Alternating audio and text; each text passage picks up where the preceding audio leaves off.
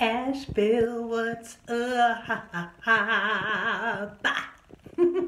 hey, it's Shana Tucker. I am your friendly neighborhood artist in residence for the 2019-2020 concert season.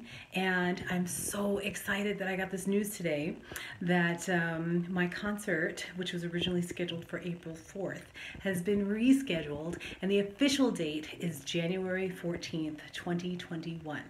So hold on to your tickets and just mark your calendars because I am coming back and I'm so happy, so, so happy that I can go ahead and, and um, bring the music and the good vibes and finish out this artist residence, artist in residence. Yes, I said it right. In style with all y'all. So go ahead and mark your calendars. It is January 14th, 2021. I'll see you then.